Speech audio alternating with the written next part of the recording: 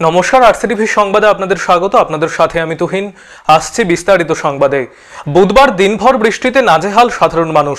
সকাল থেকেই আকাশের মুখভার নিম্নচাপের কারণে উত্তরবঙ্গের বিভিন্ন জেলার পাশাপাশি দুই দিনাজপুর ও মালদা জেলাতেও হালকা থেকে মাঝারি বৃষ্টিপাত হচ্ছে।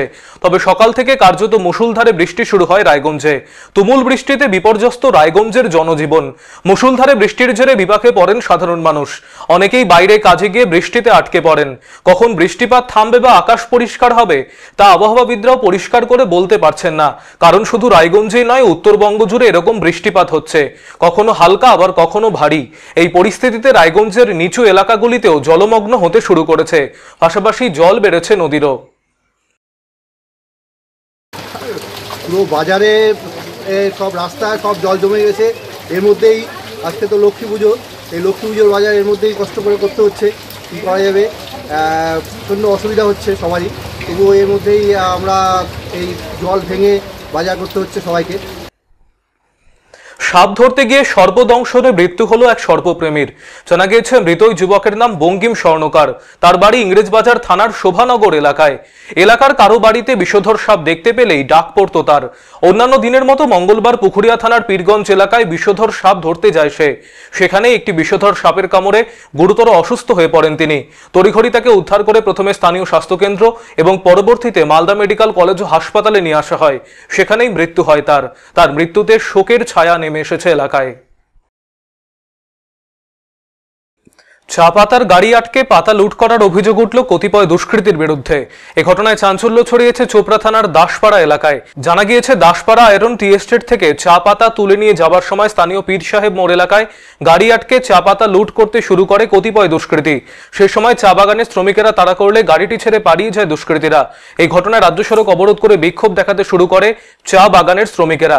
খবর পেয়ে চোপড়া থানার দাসপাড়া বাড়ির পুলিশ ঘটনাস্থলে এসে পরিস্থিতি নিয়ন্ত্রণে আনে।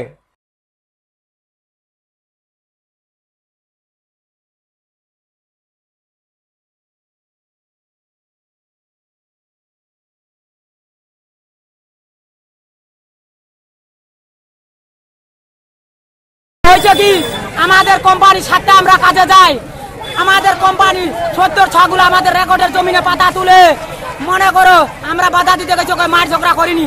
সকাল মা বোনরা সবাই কাজ করি আড়াইশো লেবার। মহেন্দ্র বাবুর পাতা ওঠায়, ওরা নাকি জোর আমার রেকর্ডের জমি নিচ্ছে। আমার সাত নম্বরের এলাকা, এই নেতা বেতাগুলো এরকম করতেছে। সকাল থেকে আমরা ঝড় বৃষ্টি কাজ করতেছি। আমার কোনো সাধারণ লেবার কাজ করছি। আমরা কাজ করলে দাম দেবে না এটা নাই আমরা সারাদিন ভিজে ভিজে কাজ করছি আজ আর নেতা হলো আমরা কোনো নেতা হলো কাজ করে পাতা গাড়ি লোড করে পাতাটা আমরা যখন পাঠাইছি এখানে পিসিআই মোড়ে কিছু গুণ গাড়ি এবং কিছু মস্তান বাহিনী ইউনুসের আর ইউনুসের এবং সৈরদিনের নেতৃত্বে আমাদের পাতার গাড়িটা এখানে লুট করেছে। আমার ছ হাজার কেজি পাতা ছিল এখন আমাদের ফিফটি পার্সেন্টের উপরে পাতা নিয়ে চলে গেছে।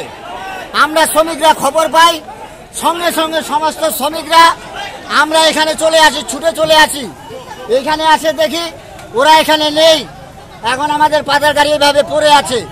আমরা এখন বৃহত্তম আন্দোলনে আমরা এই রাস্তা অবরোধ করছি।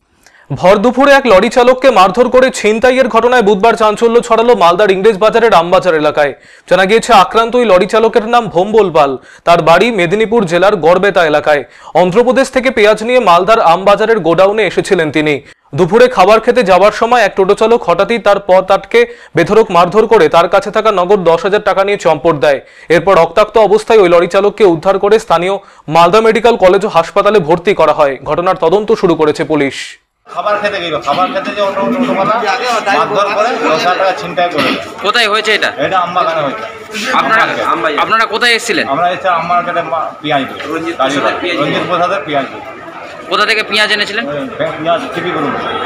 পেঁয়াজ কি খালি করছিলেন গোডাউনে? হ্যাঁ গোডাউনে খালি। তারপরে কি হলো? তারপরে বাজার দিল বাজার দিয়ে খাবার খেতে গেল খাবার থেকে টোটোওয়ালা মারধর করে গাড়ি ছাড়িয়ে। উনত্রিশে অক্টোবর বিজয় সম্মেলনী অনুষ্ঠানকে সামনে রেখে প্রস্তুতি সভা আয়োজিত হলো মঙ্গলবার। এদিন সন্ধ্যায় গাজল ব্লক তৃণমূল কংগ্রেসের পক্ষ থেকে গাজল ব্লক ক্যাম্পাসের অন্নদাশঙ্কর সদনে অনুষ্ঠানের আয়োজন করা হয়। পাশাপাশি সাংগঠনিক বিভিন্ন বিষয় নিয়ে আলোচনা করেন উপস্থিত নেতৃত্ব। মালদা জেলা তৃণমূল কংগ্রেসের সভাপতি আব্দুর রহিম বক্সি, গাজল পঞ্চায়েত সমিতির সভাপতি রেজিনা পারভিন, গৌর চক্রবর্তী, মানিক প্রসাদ সহ অন্যান্যরা উপস্থিত ছিলেন এদিনের কর্মসূচিতে।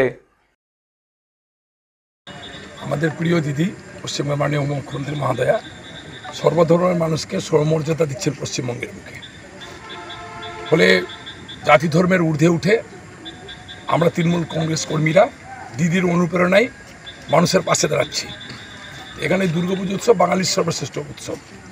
এটা সমস্ত জাতির মানুষের একসাথে মিলে আমরা উৎসব পালন করি বাঙালি হিসাবে। ফলে বাঙালির এই উৎসবে আমরা তৃণমূল কংগ্রেস, মালদা জেলা কমিটি ভেবেছি যে সমস্ত দুর্গাপুজো মণ্ডপ যেগুলো আছে, যেগুলো ক্লাব পুজো করে তাদেরকে যদি এসে সম্মানিত করতে পারি, তাহলে আমাদের আরও বেশি করে ভালো লাগবে। সেই মানসিকতায় নিয়ে আমরা এই কর্মসূচি গ্রহণ করেছি। প্রবল বৃষ্টিকে উপেক্ষা করে ধন সম্পদের দেবী লক্ষ্মীর আরাধনায় মাতলেন আপামোর বাঙালি।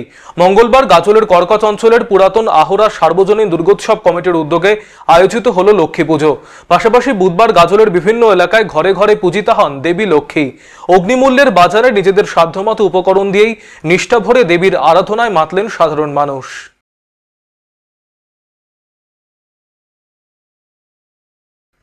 সংবাদ এখনকার মতো এ পর্যন্তই। পরবর্তী সংবাদ দেখতে চোখ রাখুন আর সিটিভির পর্দায়। নমস্কার।